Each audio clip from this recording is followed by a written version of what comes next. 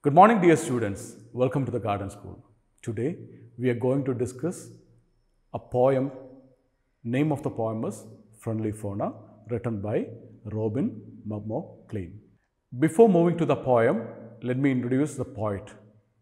Robin McMclean was born in the year 1936 in Kempsey, New South Wales in Australia, now residing in Melbourne. She was well known as the author of children books. She received South Australian Festival Award for Literature in 1998 for her work The List Maker. Some of her other notable works are Penny Pollard's book, Think Books, Halfway Across the Galaxy and Turn Left, and Hating Alison Ashley, to name few. Today, we are going to read one of her work, The Friendly Fauna. Before reading it out, we can do the warm up exercise. Do you think is it right to keep the animals in the zoos? Definitely you have difference of opinion. Mark your opinion. You can send either a voice clip or in writing through Microsoft Teams. Moving to the chapter, let us read the poem. The poem is about the fauna in Australia. What is a fauna? Fauna is animals in a particular region. Do you heard about flora and fauna? Flora means all the trees and plants in a particular region and fauna is the animals. Let's read the poem. Welcome to Australia. You must come and meet our cuddly native animals. Timorous and sweet, this vast and wondrous country where creatures rare abound. Oops, did it bite you, that black snake on the ground?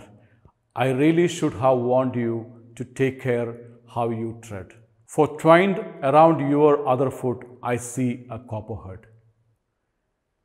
What pretty colored berries are nature, great provider. Sorry, my mistake. Do not eat that redback spider.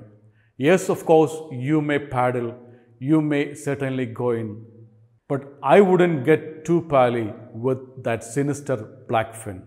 You have changed your mind. You would rather have a safe and gentle stroll among these sparkling rock pools. Get your hand out of that hole. Few, a blue ringed octopus was lurking by that rock. And by the way, a funnel web is crawling up your sock. What? You want to leave already?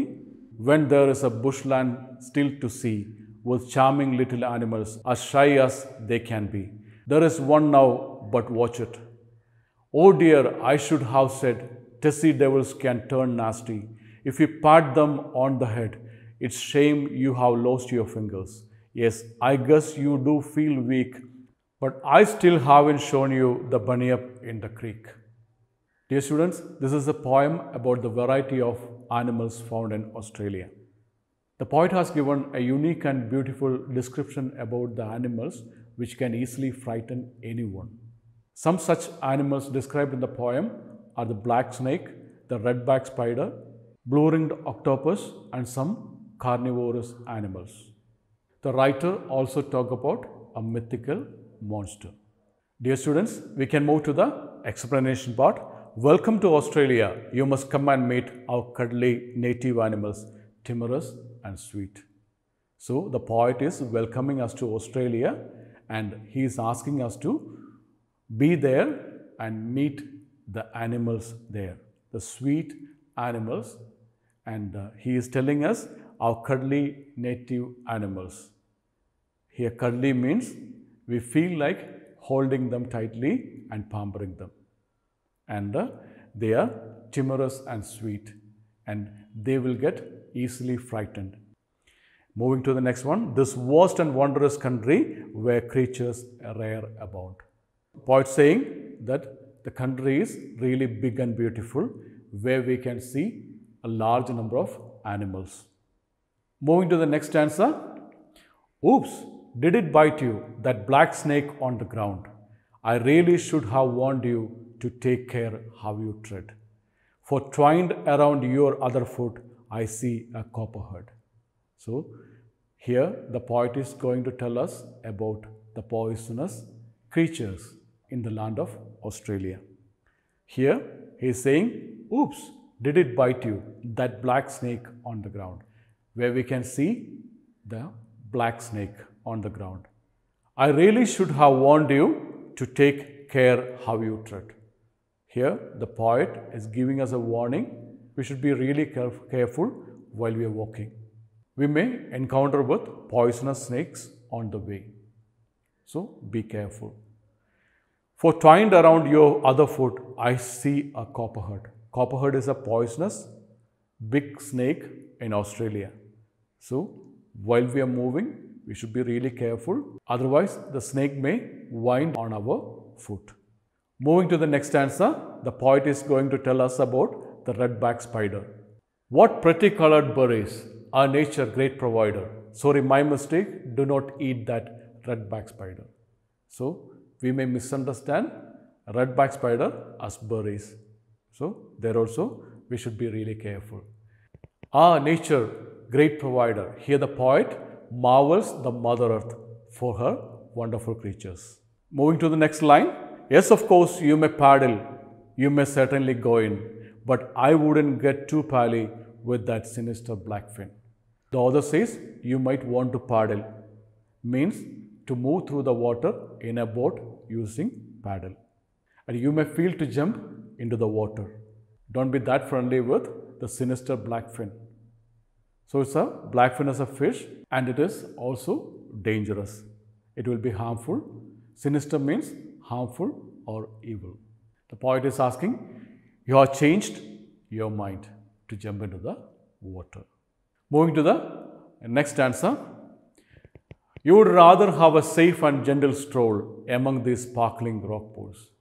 The, in English, there will be different walking styles. Stroll is a leisurely walking style. She is asking us to have a safe and gentle stroll while we are walking through the rock pool. What is a rock pool? It's a shallow pool of seawater formed in the rocky area near the seashore. And these rocky pools are above the sea level only when low tides. In the high tides, it will be covered with water. Next line.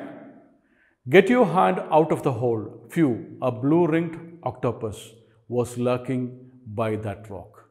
So the point is again warning us about the blue ringed octopus.